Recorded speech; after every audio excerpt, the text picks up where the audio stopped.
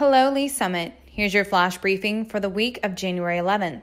Sign up to save a life. The city is partnering with the Community Blood Center for a blood drive on January 20th.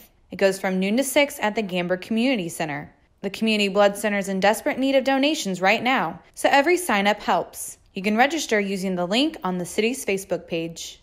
City Council will meet for a regular session Tuesday night at 6. If you can't watch, quickly catch up on what happened by subscribing to the Council Debrief newsletter. It breaks down three to four key actions and is delivered to your inbox the day after the meeting. Subscribe at cityofls.net. Stay informed about the COVID 19 pandemic. There's a lot of information out there right now, and it's hard to keep up.